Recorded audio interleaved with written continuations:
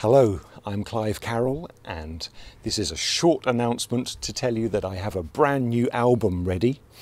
Uh, it's called The Abbot, and it features the music of acoustic guitar legend and founding member of Pentangle, John Renbourn.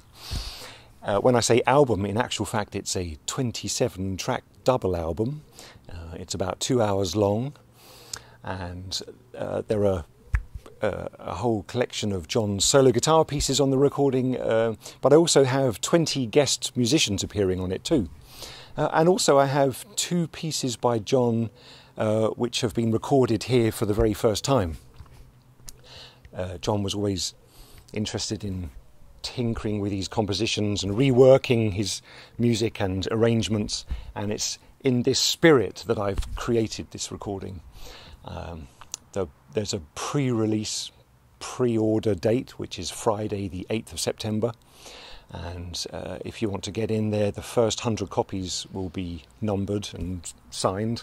Uh, and the official release date for the Abbot is Monday, the 2nd of October.